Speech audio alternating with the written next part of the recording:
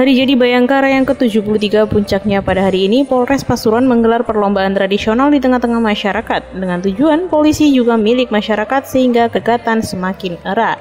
Puncak Hari Jadi Bayangkara ke-73, Polres Pasuruan menggelar kegiatan di lapangan desa Jeruk Purut, Kecamatan Gempol, tepat di lereng Gunung Penanggungan yang sejuk dan indah.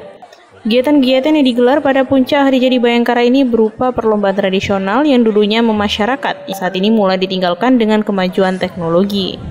Keseriusan tiap peserta terlihat untuk saling mempersiap perlombaan yang diikuti, seperti panjat pinang, peserta sampai terjatuh, nangkap belut, peserta terlihat kesulitan hingga terjatuh akibat licinnya belut, serta jajaran Forkopimda yang serius lomba makan kerupuk.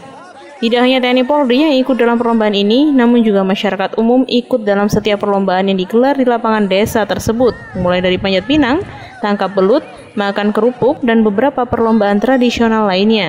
Dengan kegiatan yang memasyarakat ini, nanti dan masyarakat bisa erat dalam berbagai hal, diawali dengan kegiatan yang bersifat hiburan.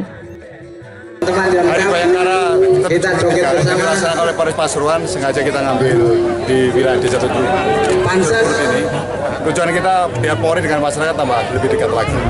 Jadi kita menggunakan pesta rakyat acara-acara yang tradisional seperti pajak pinang, tangkap belut, makan kerupuk. Ya mana olahraga olahraga yang betul masyarakat. Jadi Polri biar menyentuh sampai masyarakat sampai dalam masyarakat pun kita siap. Panjat Pinang. Gimana mas? Acaranya sekali. sekali. Dapat nggak dia tadi?